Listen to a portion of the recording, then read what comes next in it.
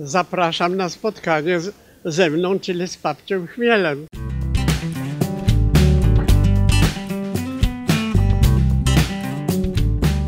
Tytus ukazał się dzięki Związkowi Radzieckiemu, bo w 1957 roku 4 października Związek Radziecki y, wystrzelił y, pierwszego Sputnika. Sputnik dookoła Ziemi latał, wydawał głos pi, ale poza tym było wszystko y, taj, ta, y, tajne i nie było co w świecie młodych, w którym y, wtedy pracowałem, nie było co wydrukować. Proszę, a tutaj 10 odcinków Chmielewskiego leży na temat kosmosu.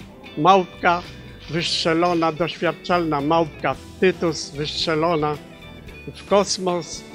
No i wydrukowano pod strachem.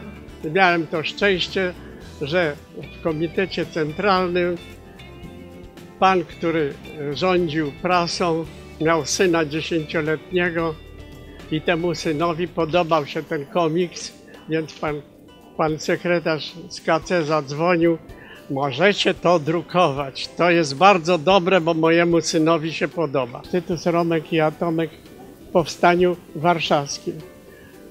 Ten temat chodził za mną przez 30 czy 50 lat. W PRL-u nie można było tego tematu podjąć. Następnie, jak tu rysować Tytusa, Romka i Atomka w Powstaniu Warszawskim, kiedy trup y, pada gęsto, martyrologia.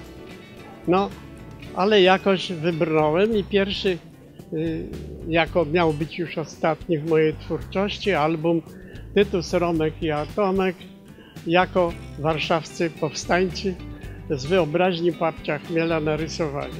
Już to miał być ostatni, zresztą ciężko mi się kończyło, bo, bo pod, już ostatnią stronę dorysowałem po wyjściu ze szpitala, ale później przechodzi 2-3 miesiące, no i co tu robić? Jeszcze, jeszcze mózg działa, jeszcze jedno oko działa, także następny.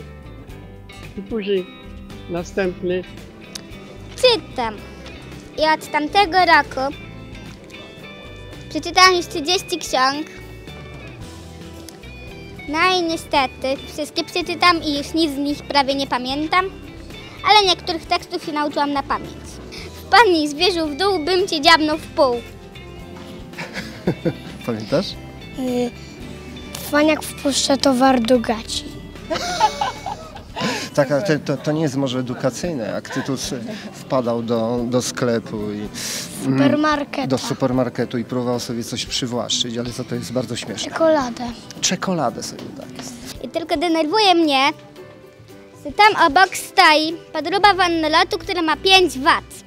Teraz mi się przypomniało dzieciństwo. Ja po prostu jestem tak wzruszona tym dzisiejszym spotkaniem z babciem Chmielem, że nie umiem nawet tego powiedzieć. Z- Zapoznałem się z Tytusem y, i z Papciem Chmielem za takich szarych komunistycznych czasów, więc to było w ogóle chyba jedne z nielicznych kolorowych książek, a i jedne z, jedne z nielicznych, które były takie otwarte, takie y, z jakimś inteligentnym przekazem. Tytus był po, po, powiewem w ogóle jakiegoś świata, wolności, także że każde wydanie Tytusa to było po prostu odkrycie, tak jakbyś dzisiaj dostała bukiet kwiatów co, codziennie jakiś piękny. To była duża, duża frajda.